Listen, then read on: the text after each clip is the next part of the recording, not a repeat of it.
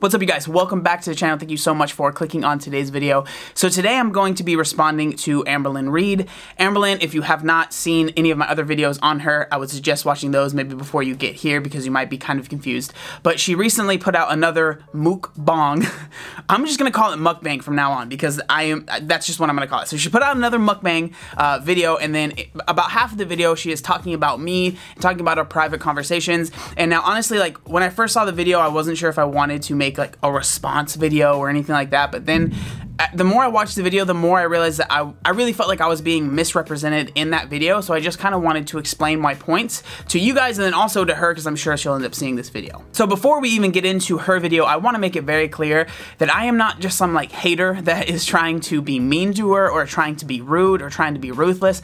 I genuinely, more than anything in the world, for her would like for her to get healthy.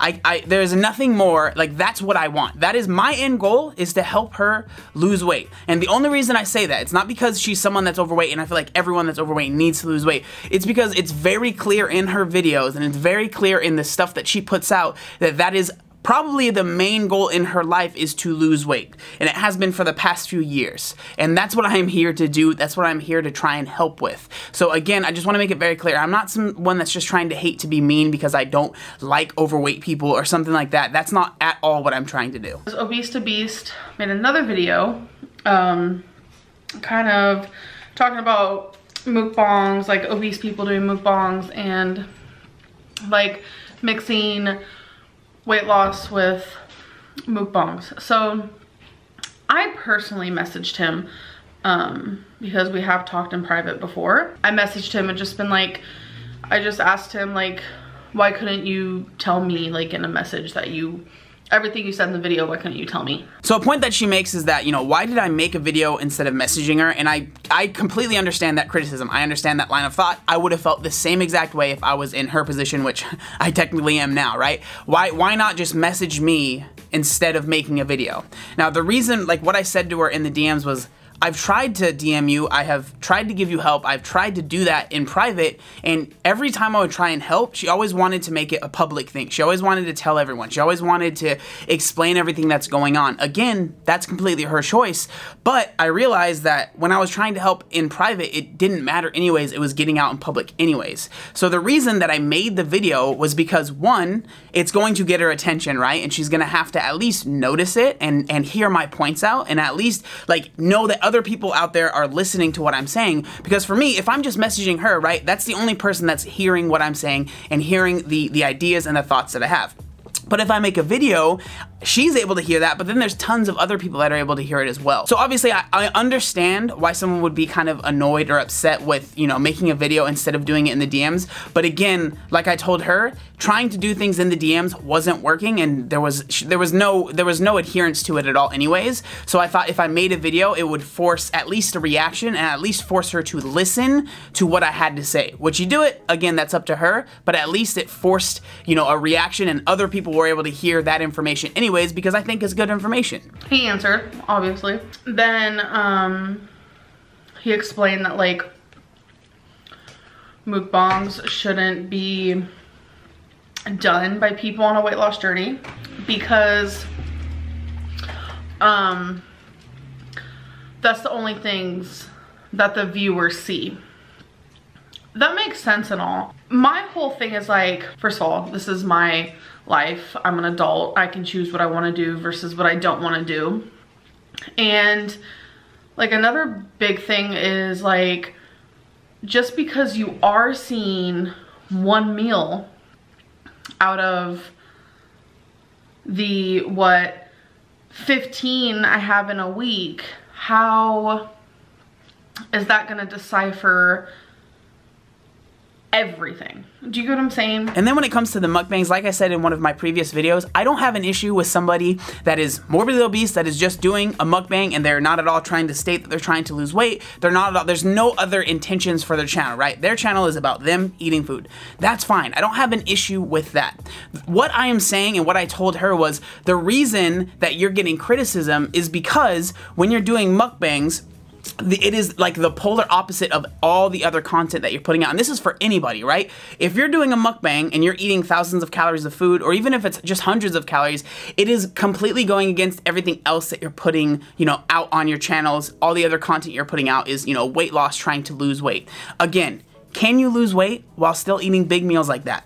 Absolutely. I am not saying that you can't, and I think it would be silly. I eat meals that are, you know, over a thousand calories all the time. But at one, I don't put that on the internet. And two, if I started doing that and I started getting hate, I would completely understand why people feel the way that they feel. The point I was trying to make is that if you're going to put this out there, you're going to have to deal with the criticism and you can't really be upset with people saying what they're saying because again it's perception if they're not seeing if nobody else is seeing the other meals that you're eating that you know you say are smaller 200 300 calorie meals all all the people are seeing are you eating these big meals? And in turn all they're seeing is you gaining weight.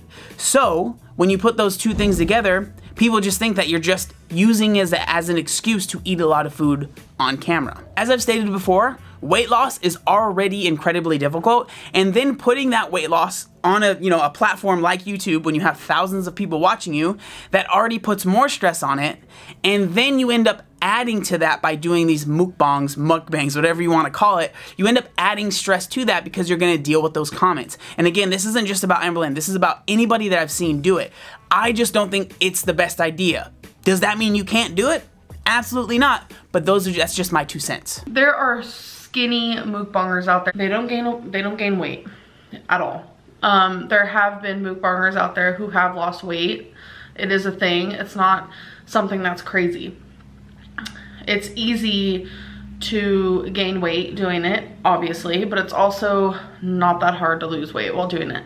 Now, obviously, there are tons of different sizes of people that are doing these mukbangs, but the issue is that if you are struggling with binge eating, I just don't think that it's a good idea to be putting yourself on camera, especially when in other videos you're stating that you struggle with binge eating and that you are binge eating a lot. Because I could see these mukbangs or mukbangs, you, I could see them working if you were doing them maybe once a month, if you were, weren't doing them very frequently. But when they become very frequent, it's just hard to look past that as a viewer. We're kind of just over people only supporting us when we're doing what they want us to do. That's just not how life works. You either like us or you don't, or you support us or you don't. Now, when I heard this part of the video, I think this kind of perfectly explains the mindset that people can get into when you are, you know, you're morbidly obese and you just want, you like feel like you just can't lose the weight and that's what I that's exactly kind of how I felt when I was trying to lose the weight but I just was always failing so then I was just like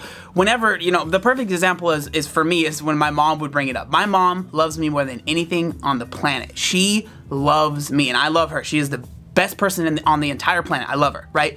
And she would bring up my weight. A lot of times she would bring up my weight and she would be crying, but because I was in so much denial, I felt like I was getting attacked. Now, my mom, all she wants to do is see me live. She she obviously would never wish any ill will on me. But in my head, I felt like I was being attacked when that is absolutely not what's going on. I think just expecting people to support you no matter what you do is it's just not realistic because even for me, right, if I, you guys know that I am very much against fat burners. It's not something that I like. But if I started to promote them and then I was getting backlash for that, which I hope I would, right? And then I got upset and be like, well, you guys are my supporters. You should support everything that I do. But if everything in the past has said that I don't support fat burners and then I start selling them, obviously, right, I would hope that people would be like, I support you, but this is not you. This is not what you have said in the past. And I think that's the, that, Amberlynn, that's the reason that people are, you know, saying what they're saying is because all of your past videos have been you struggling with weight loss, you wanting to lose weight. And then all of a sudden, if you're trying to shift into being like, you know what, screw it, I'm just gonna eat myself to death. I know that sounds dramatic, but that's exactly what's happening obviously people that care about you, not just haters, are gonna be like, yo, that is not what you've been saying, and that's obviously not what you need to do. Because no matter what, if you're over 500 pounds, that is very, very unhealthy, and you are eating yourself to an early grave.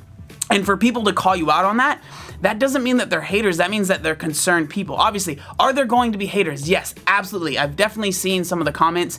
There's definitely people that are just being rude, but I would say from what I've seen, the vast majority are people that are actually concerned about your health and are concerned about you living longer. I can say that 100% fact for me is I don't, I'm not here, like, more than anything on the planet for you, I want to see you succeed and lose weight period. Now we're gonna skip a good amount of the video because she kind of just talks about stuff that isn't related to this at all. But what she says here towards the end of the video is literally exactly what I would recommend for her to do anyways. And plus sometimes I feel like me broadcasting it so much is what makes me fail.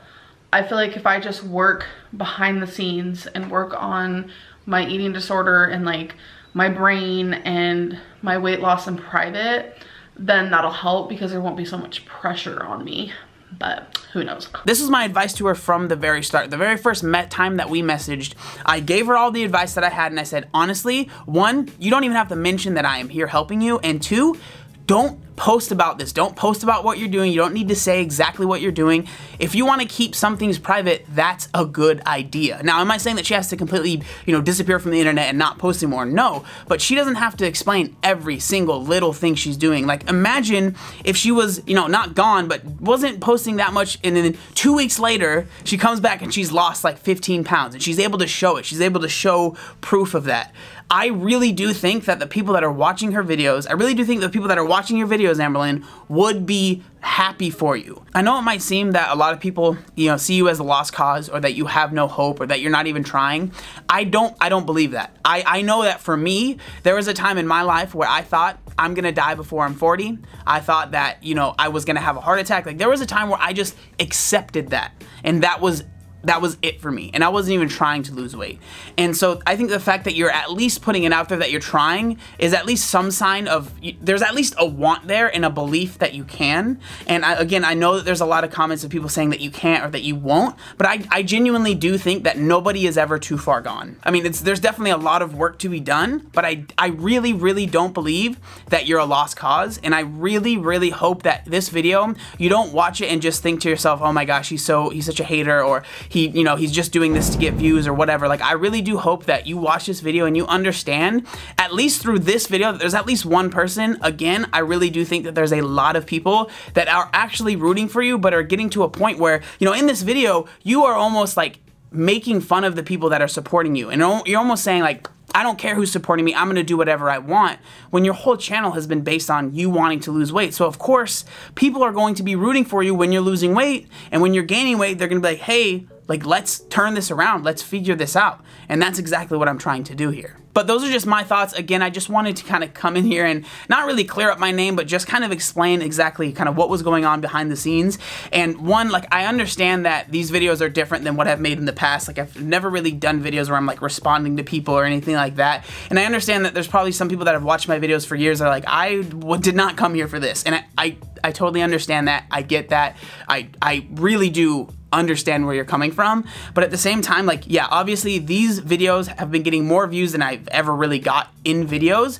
But what is really cool about that is that there's tons of people that are coming to the channel. Obviously, not everybody is sticking around. There are people that just like drama, which I understand. It is what it is, right? But there are a good amount of people that are going back because I'm able to see all the comments on all the videos. There are people going that are going back to videos that I made two years ago, three years ago that are, you know, helpful weight loss videos that are saying like, these videos are really helping me. And so for me, it's like, I understand that it's like drama and people don't really like that, but I'm actually being, I'm actually been able to reach people that I've never been able to reach before because Amberlynn does have a ton of people that are following her that are trying to lose weight and they probably would have never heard of me if it wasn't for these videos. So again, it's kind of a double-edged sword. I understand where people are coming from with being annoyed with these videos, but at the same time, like my goal is to help as many people as possible. And normally I'm not gonna reach the people that Amberlynn is going to reach, but now I've been able to do that. So for me, it's, I'm trying to kind of figure out exactly what I want to do, but I am happy that I'm able to reach more people and that, you know, that's obviously my goal here. But again, thank you guys so much for watching. I want to say at the end of the video, please, we don't need to leave any hate. If you have anything that you want to say, leave it down here in the comment section, you know, whatever you might think, if you agree, if you disagree, whatever. I would love to hear what you guys have to say. Uh, but again, please keep it civil. This is not a hate channel. I'm not trying to spread hate or anything like that. But again, thank you guys so much for watching the video. Make sure you like, comment, and subscribe. There was one other thing I wanted to say. Oh yeah, look how buff I am. Ugh. Obey the warning signs, and when there are flashing lights or wigwags, don't attempt to cross until they come to a complete stop.